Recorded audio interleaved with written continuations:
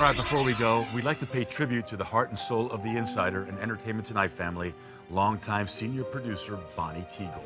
Bonnie lost her battle with cancer today, but boy, did she put up a good fight. Yes, she did. And whether you knew her for 20 years or just 20 seconds, Bonnie always made you feel like you were so important and that you were her best friend. Yeah. And what I loved about Bonnie is when you would come in in the morning, she would greet you with this big hello and then give you a huge bear hug. Yeah, That's she what I would. loved about her. And every time Alexandra was here, my daughter, no matter what Bonnie was doing, she'd drop everything and take her in her office and mm-hmm. play with her. That's just who Bonnie was. It's just who she was. A deeply respected and energetic force of nature in this town.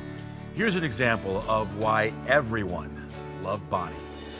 God truly broke the mold when He made her. So, Bonnie, if you're listening, you will be missed, but trust me, girl, you will never, ever be forgotten. Is there any way to make me younger and thinner? Oh my god, you look amazing.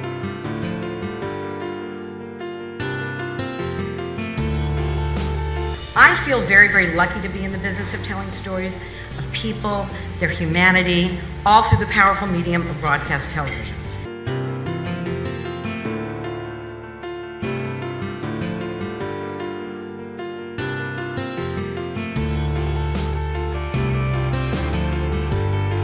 She does anybody, it's going to be us exclusively.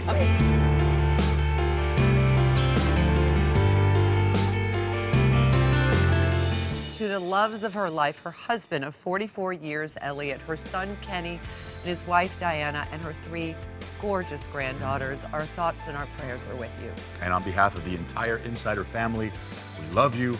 We will all strive to live life the Bonnie Tiegel way.